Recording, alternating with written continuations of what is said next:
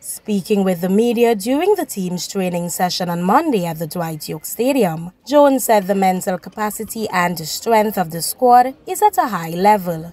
He added that while some are disgruntled about hosting the game in Tobago, he is pleased. I really want to be able to, to not only unify, but to unify the support actually for the entire country. So it's only right that we um, you know, we, we bring the game to Tobago. We have um, a few members of the team from Tobago, and it's important for them to, to, to, to, to feel at home and for also the rest of the team to understand what it means for them. That that would only further galvanize the team.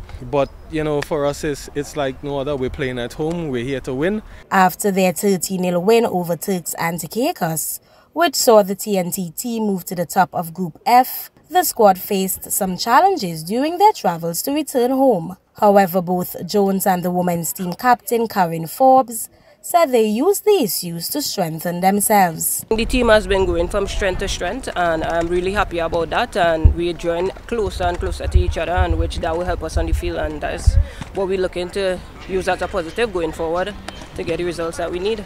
From Tobago, I am Caricia Douglas for TTT Sports.